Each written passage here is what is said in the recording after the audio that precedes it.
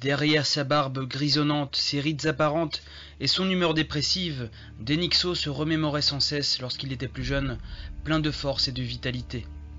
La mélancolie était omniprésente, mais il commençait à s'inquiéter.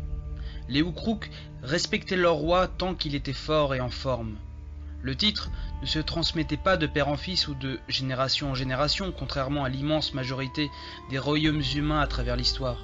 Les rois perdaient leur titre lorsqu'ils perdaient la vie sur les champs de guerre, de maladie, voire même lorsqu'ils se faisaient battre en duel par un autre Ukrouk si celui-ci le provoquait en duel.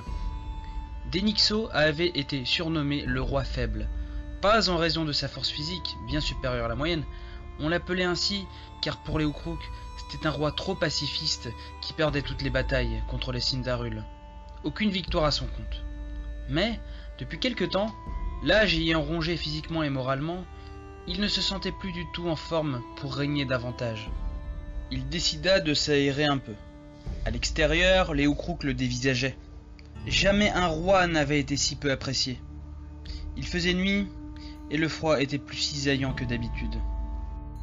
Un Ukrouk, bien plus jeune que Denixo, se dressa devant lui et lui dit en hurlant Je demande un duel à mort contre le roi Denixo était loin d'être surpris par ce qui arrivait.